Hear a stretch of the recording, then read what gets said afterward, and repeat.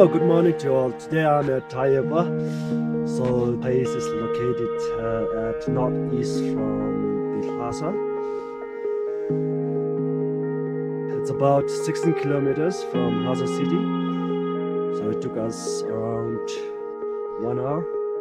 So this complex is a historical complex which consists of uh, cave temples and some meditation sites. So Drak Yerpa is quite famous for a short hiking. So let's go and see.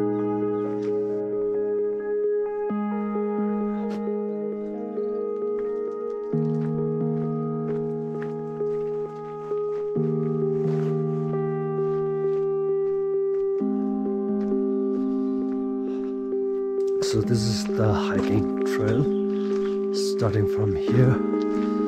So we have to get to those cave temples.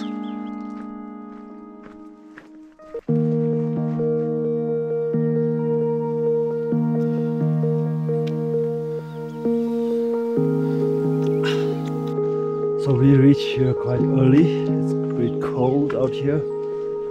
And there's no local pilgrims arrived yet. So it's quite empty out here. Usually there- are so many local pilgrims uh, hiking around those cave temples.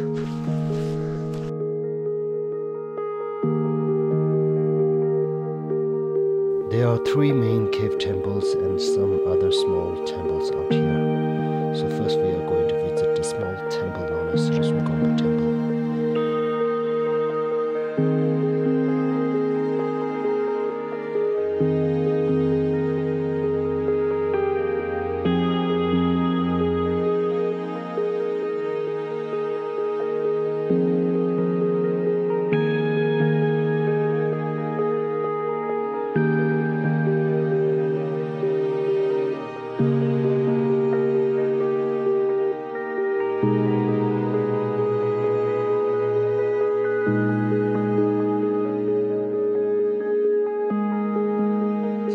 Now I'm entering into the Rasungamba cave temple. So it was built by Songtsen Gampo in 7th century.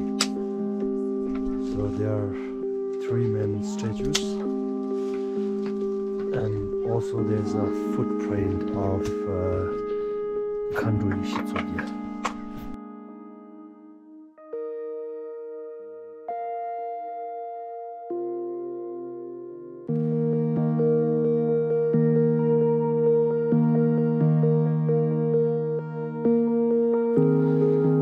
I'm heading toward the next cave temple, which is one of the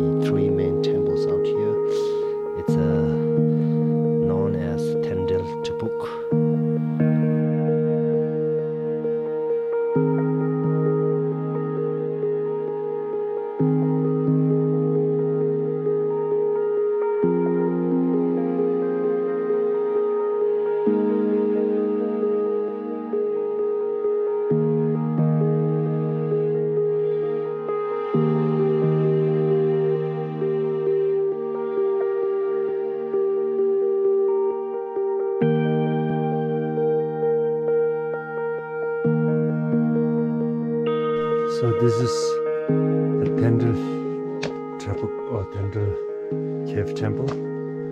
It was built by Choji Atisha.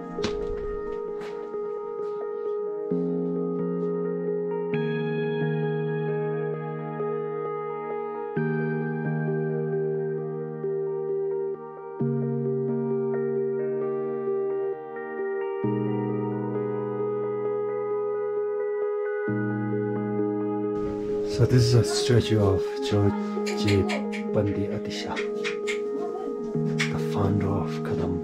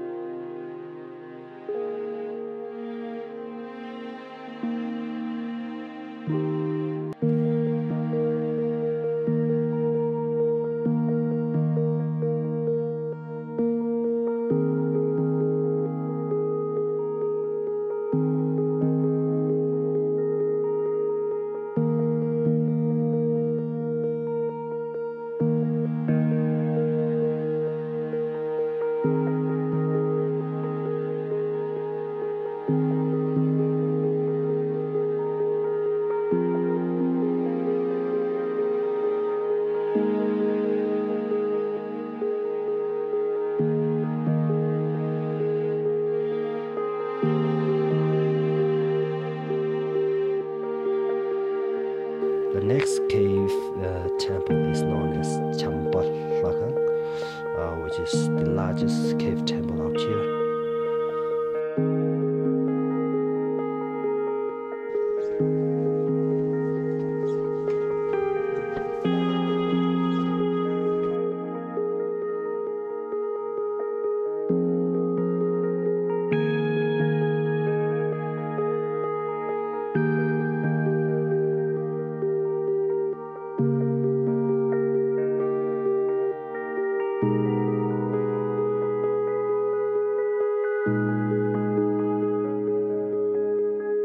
So this is the largest cave temple in Drak Yerpa. So the temple is known as Laka.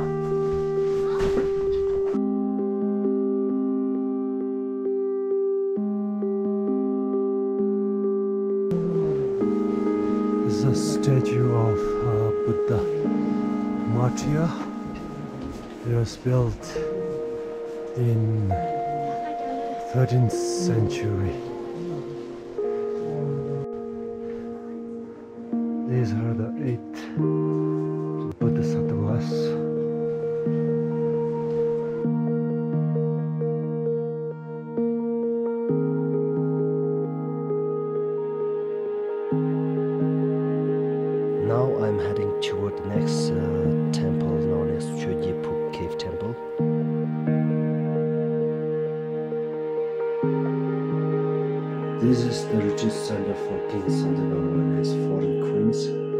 And said to have meditated here in uh, this temple, where they discovered the self-arising symbol of Buddha's body, speech, and mind.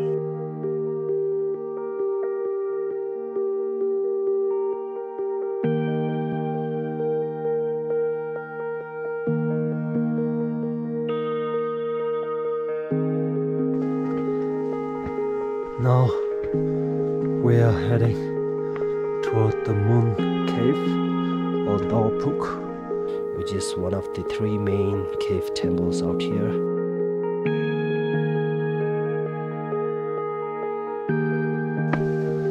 So this is Daopuk or Moon Cave Temple.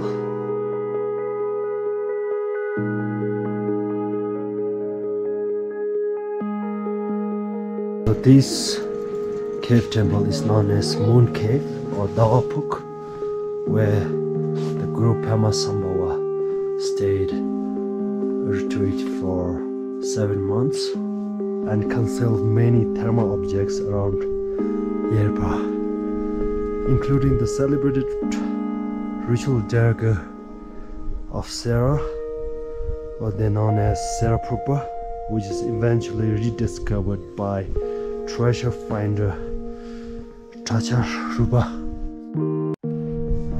So, this cave is regarded as the most important cave at Drak Yerpa. And also in the 9th century, Lhalung Palgyi Dorje stayed at here in solitary meditation, both prior to and after his assassination of the last king of Tibet, Langdarma.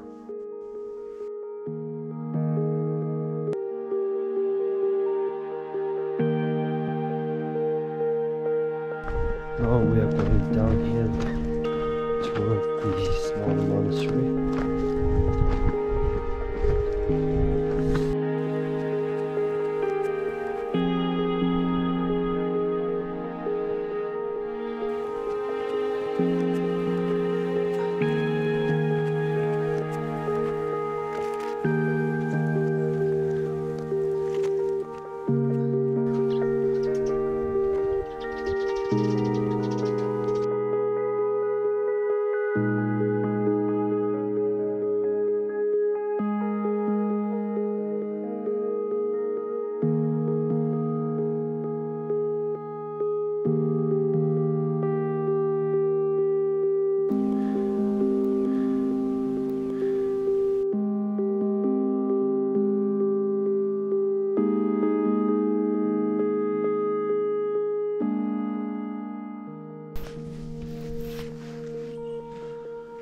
So Drak Yerpa is considered very sacred place because beside these three main cave temples there are so many retreat center where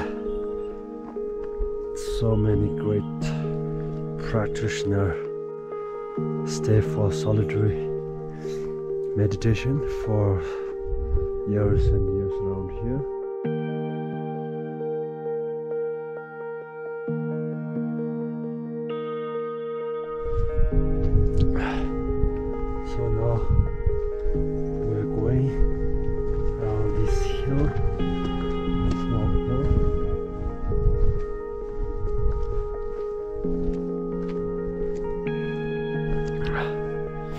Especially in summer, this is a very popular place to do pilgrim and also family picnics.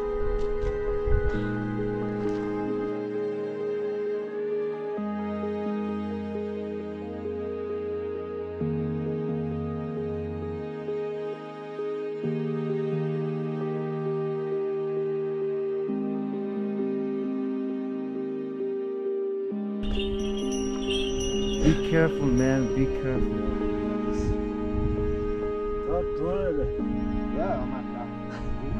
Come out there. Saju. Come out there.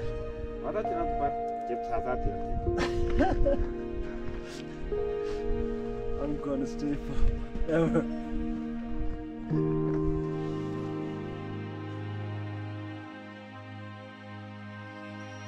Numar, numar. Numar,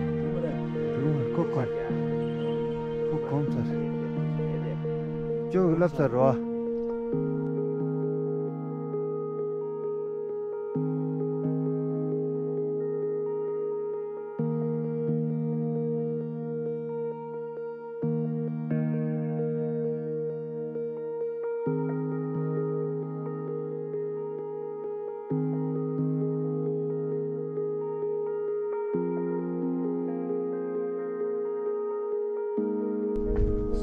So Drak Yerpa is the highlight destination around Lhasa.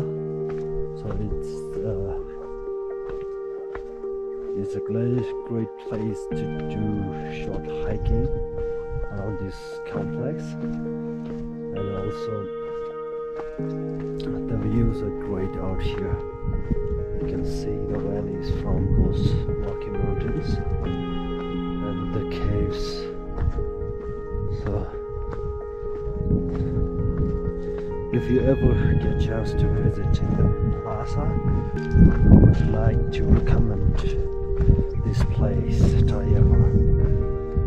to worth your visit.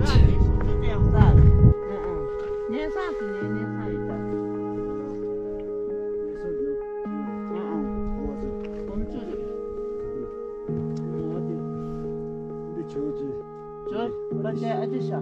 지루와.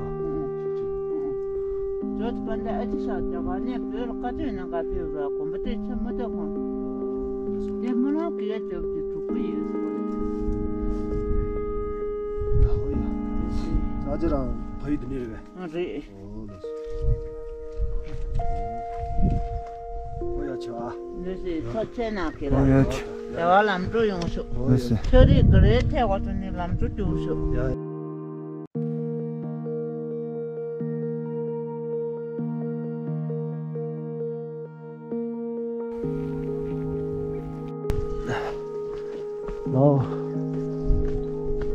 Almost done with hiking, so heading back to the parking lot.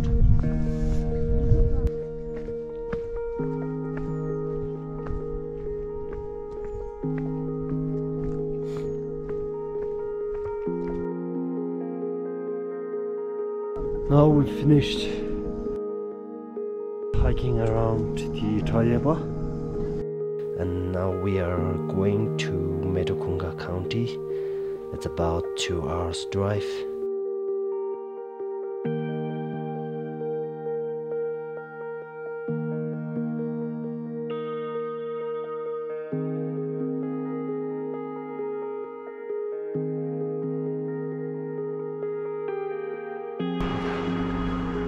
So just now we have to pass the Metrokonga County.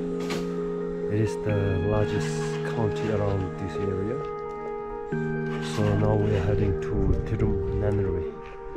So before we go, we need to check up on our car.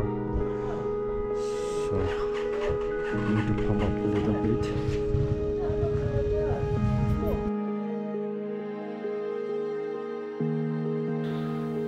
I think that's it for the day, and